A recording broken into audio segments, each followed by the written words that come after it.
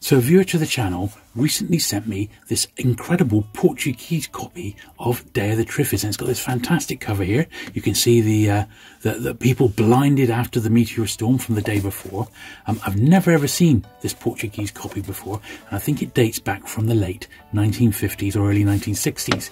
Now he said, I thought you'd enjoy this because I know of your fascination with the Triffids, and he's right. It is my favourite book. He said, I think you'll be particularly interested in the stamp that's just inside the front cover. And look at this, I opened it up to see John Beynon Harris, 22 Bedford Place, WC1, London.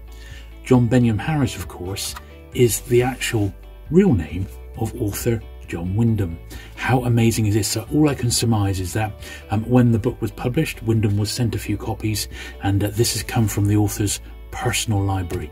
How absolutely incredible is that, and a worthy addition to my Triffids collection.